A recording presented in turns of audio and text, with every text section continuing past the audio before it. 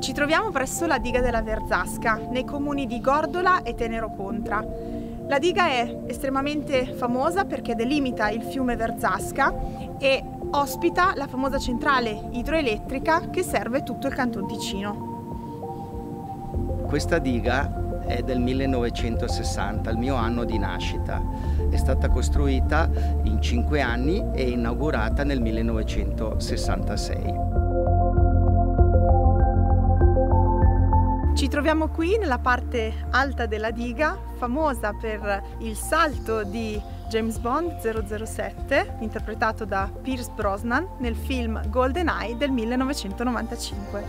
Nel complesso della diga abbiamo un totale di quattro lift, di cui due molto importanti. Uno si trova sul, eh, nella centrale delle turbine con una corsa di più di 200 metri. Il secondo si trova nella parete interna della diga, anch'esso con una corsa di 200 e più metri lift Schindler vengono utilizzati quotidianamente sia dal personale della diga e sia dalle ditte esterne per la manutenzione delle turbine della centrale.